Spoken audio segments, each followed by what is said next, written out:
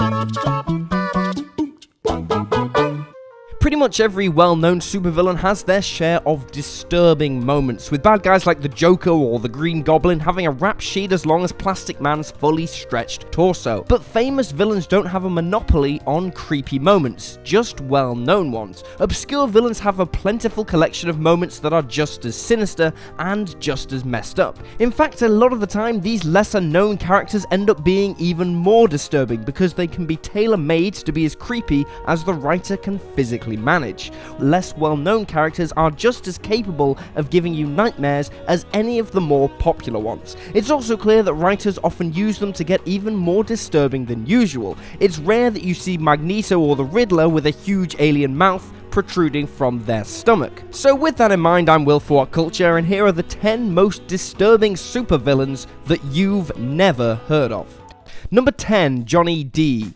Hailing from the wilder side of Marvel's mutants, Johnny Dee has the unusual superpower of having a screeching mouth embedded in his chest, which is capable of using people's DNA to create creepy statuettes that can be used in order to control those people at his will. In an unsolved mystery, we have yet to find out if this power is properly Johnny's, as he insists that the freak in his chest is a sort of parasitic twin with a separate brain to him, meaning he doesn't consider himself a mutant. All this said, it does seem significantly more likely that this is merely Dee's way of disassociating himself from the persecuted mutant race, as the mouth does do whatever Johnny tells it to, implying that it likely is a part of him. While it is an interesting superpower, seeing Johnny use it is always a little bit horrifying, in only the way powers that involve removing people's free will can be. Number 9, Mr. Quimper. There's a very good chance that this particular villain won't remain obscure for long, as with so many other indie comic book series being adapted for TV,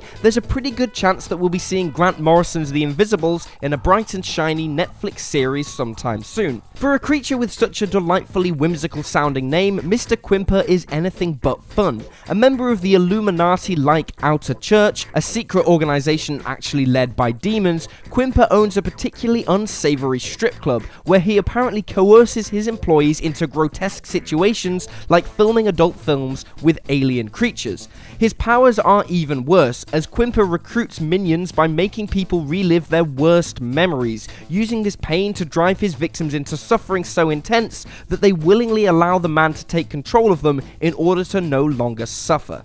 Number 8. Freak. One of the more sympathetic, disturbing villains, the somewhat cruelly named Freak was a drug addict who inadvertently took some of Spider-Man villain Lizard's body-morphing animal gene chemicals, believing that they were meth instead. From here follows an entirely grotesque transformation, which saw the poor unfortunate get his insides flipped onto his outside, slowly and gruesomely changing into a creature that resembled an oddly fleshy armadillo. This change is later revealed to also have removed the pleasure center of Freak's brain, which which on the plus would have removed any motivation to take drugs, but would also mean that the villain is literally incapable of basically feeling any kind of joy, which is a pretty rough fate all in all. With Freak's death in Absolute Carnage vs Deadpool number 2, it seems that we will never even learn his real name, which is kinda sad when you think about it. Number 7, Cornelius Stirk. Proving that some kind of weird fixation is a legal requirement to get into Gotham, Cornelius Stirk is in many regards yet another madman, aside from the small detail of his obsession with eating human hearts, fresh from the source. Not just any old human hearts either, as Cornelius is a connoisseur, insisting on only eating hearts that have been harvested from people who experience great fear before they're killed. It appears that this cannibalistic compulsion is used to power Stirk's abilities, as the serial killer is able to not only alter how he appears to other people, but also to mess with their minds and fill them with fear, which is convenient given his preference to how he eats his meat. Number 6, Murmur. The kind of villain that horror movie bad guys dream of being like, Murmur's backstory is nothing short of a fresh nightmare. One that features him cutting out his tongue and stitching his mouth shut just to make sure he gets one or two extra points on the creepy scale. You'd be forgiven for thinking Murmur must have some kind of special power or secret fighting ability, but he's quite simply just a really creepy guy who happened to brutally mutilate himself for kicks. His blood is a little different, but that only prevents him from being being able to die from lethal injection, which is a disappointing bounty from the Celebration box of superpowers. While Murmur did appear both in the Infinite Crisis series and as an enemy to the Flash, he ended up still somehow going relatively under the radar, likely because all the writers at DC were too creeped out by him to actually use the character. Number 5, Black Womb. Taking disturbing villainy to the next level, Black Womb manages to have one of the most dislikable backstories ever, which consists of her having a series of purposeful miscarriages in order to provide mutant genetic material for Mr. Sinister's sick experiments. Amanda Mueller would go on to be tried for these suspicious circumstances and would be found not guilty, although this would only be because the court couldn't definitively prove otherwise. Mueller would also be responsible for the Black Womb project, which would would show us what Amanda did to living children, as the recordings for the project would show her murdering a child in cold blood. Aside from this seemingly endless string of brutal child murders, we don't actually know all that much about Amanda Mueller, unless all there is to know about her is that she likes killing kids, which would be pretty worrying. Number 4, The Skinless Man.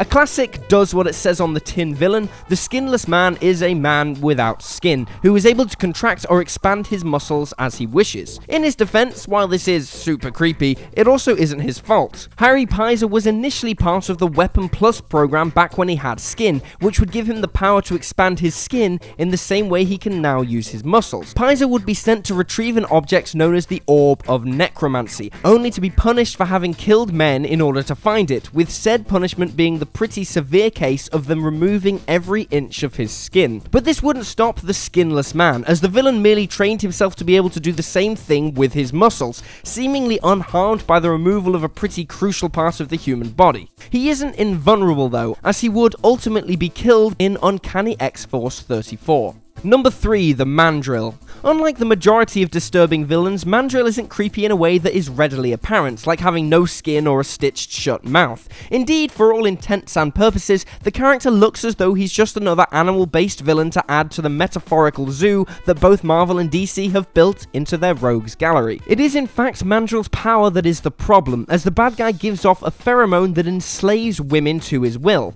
which is entirely creepy. Sure, Poison Ivy is able to use similar pheromone powers to control men, only you seldom see it implied that Ivy uses these men as anything more than henchmen, where it's stated repeatedly that Mandrill uses his powers in a much different, much worse manner. Number 2, Odin Quincannon. When your comic has a character who has canonically had intercourse with a bunch of meat shaped into the figure of a woman, you know you have a slightly strange series on your hands. The unconventional role is fulfilled by villain Odin Quincannon, the owner of the local and very successful butchers. As cartoonishly awful and completely sickening as he is, Odin works as a wonderful metaphor for everything that Jesse Custer is not and is working against, a rampant tyrannical businessman who has used his success to corrupt the town of Salvation, bribing the old sheriff to turn the other way. Perhaps the most disturbing thing about Quincannon is that, as much as he should feel like a caricature, there are elements of his character that still feel uncomfortably real. Well, that and the fact that he had sex with a meat statue. It, it's both, really. Number 1, Kid Miracle Man.